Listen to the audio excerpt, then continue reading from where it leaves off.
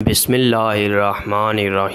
असलकुम एजे kettle info में खुश आमदीद। उम्मीद करते हैं आप लोग अपने अहलो अयाल परिवार के साथ खैर आफियत से होंगे, ठीक ठाक होंगे। व्यूअर्स हमारी आज की वीडियो जाफराबादी भैंस के बारे में है। आज की इस वीडियो में आप जानेंगे इस नस्ल की हिस्ट्री और इसके साथ इस आला नस्ल की खूबियाँ, पहचान और आप जानेंगे जानेंगे इसके दूध की बेहतरीन पैदावार के बारे में मुख्तर मालूम उम्मीद है आपको बेहद पसंद आएगी। वीडियो शुरू करने से पहले आपसे छोटी सी रिक्वेस्ट है कि वीडियो को आखिर तक देखें ताकि आपको आज की इस इंफॉर्मेटिव वीडियो से ज़्यादा से ज़्यादा फ़ायदा हासिल हो सके। और अगर आप हमारे चैनल पर नए हैं या आपने अभी तक हमारे चैनल को सब्सक्राइब नहीं किया तो प्लीज़ चैनल को सब्सक्राइब करके साथ लगे बेल आइकन पर भी क्लिक कर दें ताकि हर नई आने वाली इंफॉर्मेटिव वीडियो की नोटिफिकेशन आपको हर रोज़ मिलती रहे। तो ज़्यादा टाइम ज़ाया किए बगैर शुरू करते हैं आज की इंफॉर्मेटिव वीडियो जाफराबादी भैंस। व्यूअर्स वीडियो में नज़र आने वाली भैंस जिसको जाफराबादी भैंस कहा जाता है, ये भैंस हिंदुस्तान के इलाके गुजरात से ताल्लुक़ रखती है और इसके अफजाइश के रास्ते में रियासत गुजरात के अमरेली, भावनगर, जामनगर, जूनागढ़ और राजकोट के ज़िला भी शामिल हैं, जहाँ से ये नस्ल निकलती है। जाफराबादी भैंस पाकिस्तान और हिंदुस्तान की सबसे ज़्यादा दूध देने वाली नस्लों में शुमार की जाती है। और इस नस्ल का शुमार दुनिया की बड़ी और भारी भरकम भैंसों में किया जाता है। इस भैंस के और भी नाम हैं, जिनमें जाफराबादी भैंस के अलावा भावनगरी भैंस, गिर भैंस और जाफरी भैंस शामिल है। कहते हैं, ये गिर के जंगलात में शेर और दूसरे खून ख्वार जानवरों से लड़ने की सलाहियत भी रखती है। वजह यह है कि ये भैंस अपने बड़े और भारी भरकम जिस्म की वजह से ताकतवर होती है। Viewers I N S D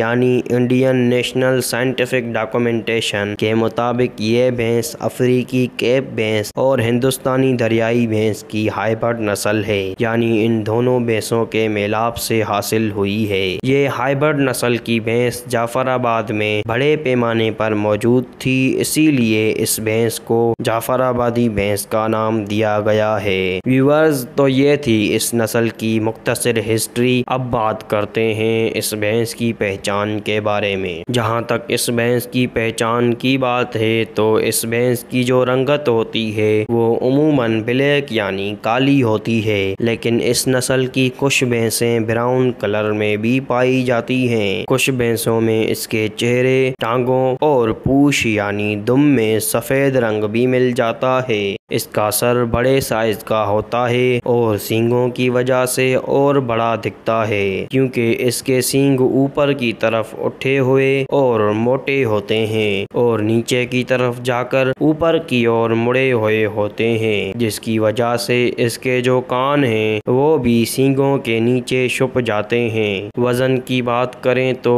weavers इस नस्ल की भैंस काफ़ी वजनी, बड़ी और भारी भरकम होती है। इस भैंस के मेल यानी नर का वज़न तकरीबन 700 किलोग्राम होता है, जबकि फीमेल यानी मादा का वज़न तकरीबन 620 किलोग्राम तक का होता है। व्यूअर्स अब बात करते हैं इसके दूध की पैदावार के बारे में। जाफराबादी भैंस एक इलेक्ट्रिशन पीरियड यानी दूध देने के दौरानिए में 2200 किलोग्राम से लेकर 2500 किलोग्राम तक दूध फराहम करती है, जबकि इसके दूध में बटर फैट यानी चिकनाई का तनासब सात अशारिया सात फ़ीसद तक होता है। ये नस्ल चार से पाँच सालों में ही ब्रीडिंग के लिए तैयार हो जाती है। व्यूअर्स तो ये थी जाफराबादी भैंस के बारे में मुख्तर इंफॉर्मेटिव वीडियो। अगर आपको पसंद आई हो तो वीडियो को लाइक करके अपने दोस्तों के साथ शेयर कर दें और हमारे चैनल एजे केटल इन्फू को सब्सक्राइब कर दें। साथ ही घंटी के निशान पर भी लाजमी क्लिक कर कर दें ताकि अगली आने वाली नई वीडियोस की नोटिफिकेशन आपको जल्दी से जल्दी मिलती रहे।